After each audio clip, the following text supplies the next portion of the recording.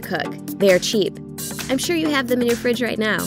But how to make sure that each time you cook eggs, you can create a little masterpiece? These six egg life hacks will surely help you with that.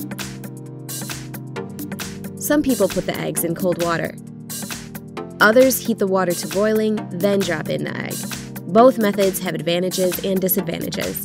The difference is in how fast you heat up the egg. Starting with cold water lets you heat the egg more slowly, which keeps the whites from getting rubbery.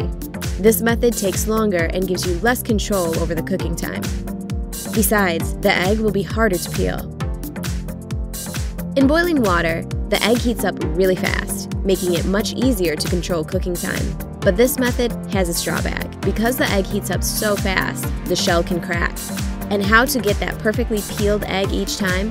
Place your eggs in boiling water and cook preferred amount of time. Then place your eggs into an ice bath and leave them there for about 10 to 15 minutes.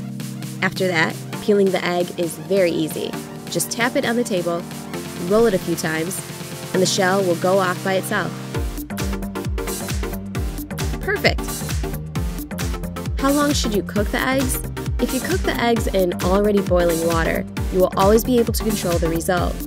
That's how the yolk looks like, depending on the cooking time. Pick those to your liking. We're done with boiled eggs. Let's get on to fried ones. We have the pan on medium heat. Let's add some butter. Now break your egg carefully.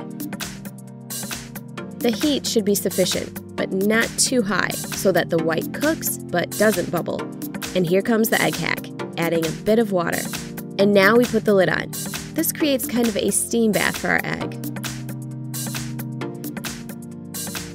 which results in a beautiful bright egg yolk and a cooked through white. And last but not the least way of cooking the eggs, scrambled eggs. First, let's crack the egg into the bowl. Oops, a piece of the shell fell right in. If you don't like your scrambled eggs with eggshell, then take the shell from the broken egg and use it to get the piece out of the bowl. To cook those perfect scrambled eggs, you need to beat them in a bowl. Then, season with salt and pepper to taste. Now, melt some butter in the pan. There should be quite a lot of it. Next, pour the eggs in and wait. Make sure to keep the heat pretty low.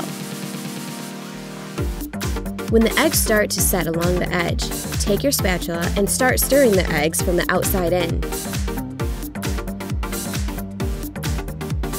When the eggs are about two thirds cooked, we need to use another egg hack and a little bit more butter.